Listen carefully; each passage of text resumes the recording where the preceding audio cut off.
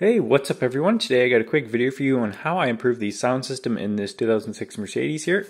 So basically it has a factory sound system, it's a pretty decent Harman Kardon system. I just find that it's not quite loud enough. And I didn't want to go around messing with the head unit or the speakers or anything of that like.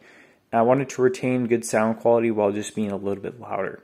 So I'm going to show you how I did that today.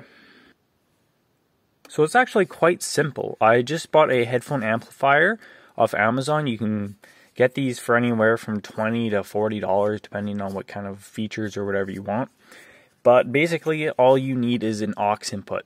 So basically any vehicle from 2005 onwards is relatively standard with an aux port, I'll say that. But uh, yeah, basically all you're going to need to do is plug in your factory aux ports. For me, it's right there. And then you're going to plug one end so your vehicle goes there and your device goes right there. So I do use a Bluetooth adapter through here. So one cable goes into the car, the other one goes into the adapter. And that way I do have Bluetooth controls in case that's what you want to retain while not sacrificing your Bluetooth features while using the aux in your vehicle. And uh, that's pretty much all you do. So it does have the low and high gains. I just leave it on the low, I guess. And uh, you can control your volume. It's pretty much that simple. So I would give you a sound demonstration, but unfortunately it doesn't come across very well on my camera.